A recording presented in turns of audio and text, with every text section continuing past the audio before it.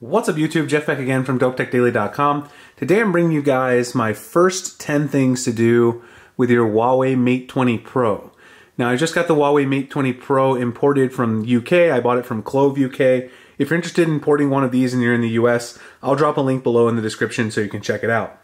Now I know the phone's not officially coming to the US, but since this is an international channel, a lot of people watch it from various places, I did want to make the first 10 things video for all the people out there in Europe and also Asia and Canada who might be buying this phone because it's a really good looking phone. So as usual with my first 10 things video, I'm going to run down the first 10 things that I do when I get the new phone in hand. Today I have the keep document right here so you can follow along below if you want. The first thing is set up fingerprint scanner or face unlock. Now, of course, you can set up both of these if you desire. I'm only using the fingerprint sensor right now, which is in-display fingerprint sensor, um, mainly because I just wanted to see how that goes first and then try the face unlock later.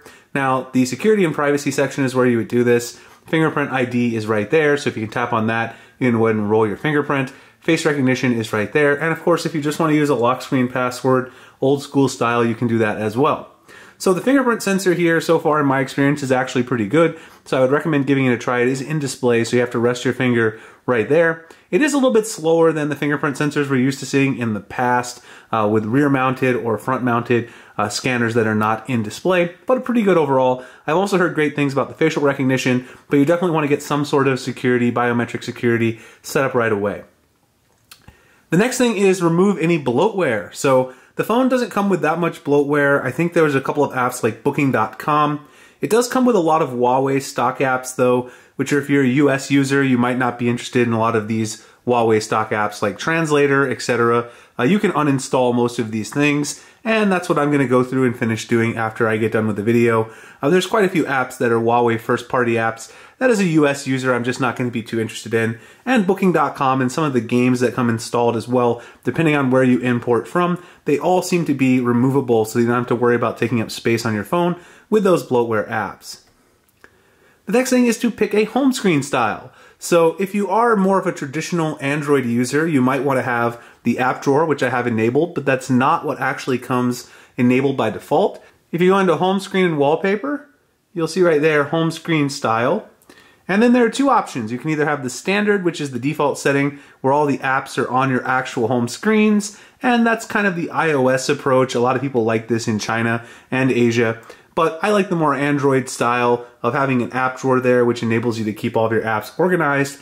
And as you can see, that's what I have enabled right here. So that's a personal choice that you'll have to make yourself, but I personally like the Android style. The next thing is to decide whether or not you want to have the notch enabled. So that's a personal decision as well. The notch obviously does come enabled by default, but with most phones these days, you can turn off the notch, and you can also do that on the Huawei Mate 20 Pro. If you go into Display, and you go into more display settings. Right there you'll see the notch and you have the default which is to have the notch on. You can also turn the notch off if you want which basically loses some usable screen real estate near the top of the display. To me I find that personally a little silly. This is what it looks like on the home screen with the notch off. Uh, if the phone comes with a notch, you might as well use it. I know a lot of people don't like the notch. Um, and I think eventually we'll get rid of it as more and more sensors get embedded under the glass, but at least you do have the option to get rid of that here if you want. The next thing is also within the display settings. There are two things. Uh, you can choose to make your apps in full screen, and you can also change the resolution. So if we go back to the display settings, back up from the notch page, you've got a couple of options here like the full screen display. This can choose which of your apps display in full screen. Um, now you'll probably want to turn on all of your apps, most likely. It tells you some apps are not optimized, but usually most of them can be stretched to sort of fill the full screen. And so you can do that. It will say changing the aspect ratio. Let's show you that whole entire message. It says may lead to display errors. Now, in all of these apps, I've tried turning it on and it doesn't really lead to any issues. You might just see some stretching of content, which might look a little strange, but it won't cause any crashes or anything like that on your device.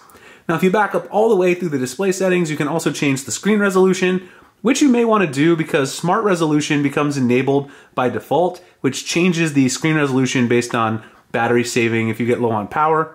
Personally, I want to take the full sort of advantage of my display when I pay this much money for a phone, so I turned it all the way up to WQHD+. Plus. Now I know most people can't really notice the difference between that and FHD+, Plus, so if you want to save some power, you can also decide to turn that down right there manually and do that yourself. So that's really, again, a personal decision. There's some battery savings opportunities depending on what you decide to do. The next thing is the navigation system that you want to use. So if I back up and go to settings here, go to the main settings menu, go down to system at the very bottom here, you'll see system navigation right here. And system navigation allows you to choose from three different options. You can either use three key navigation, which is the classic. I have that enabled right now. The navigation dock, which basically allows you to have a little dock that you can move around to do some gesture type nav, but it's a little strange. Um, you can sort of see how it works here. The navigation dock is a little floating button that allows you to use it to get between your home screen, your back, and your recents.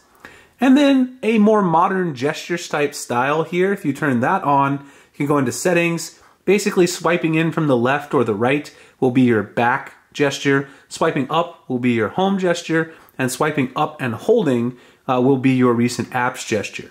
Now I found these gestures to be a little bit annoying, which is why I decided to go with the three key navigation. Some of the gestures from Samsung on the new version of Android Pie, which I reviewed recently, seem to be a little more intuitive. Uh, I'd like to see Huawei adopt something like that. These are a little hard to use, and I'll talk more about why in my full review. The next thing is notification management. So notification management is kind of important because a lot of people have talked quite a bit about how Huawei sometimes hobbles your notifications and things like that. I've talked about it before.